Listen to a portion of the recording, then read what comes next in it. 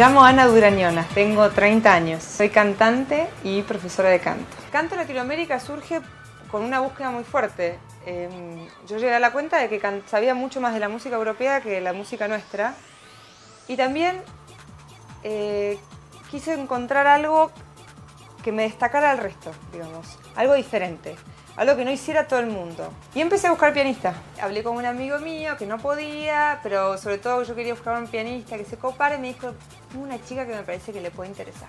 Y fui al Conservatorio Nacional, donde yo me recibí, donde estudiaba Nati también, donde ella también se recibió y es profesora. Y le toqué la puerta. Hola, soy Ana, ¿cómo estás? Hola, soy Natalia. Ah, qué bueno. Este, che, ¿querés? No sé, tengo unas músicas, ¿querés verlas? Las vemos, vemos qué onda. Y se copó y se enamoró, ella después se fue a estudiar a Italia, volvió y cuando volvió ahí arrancamos a full.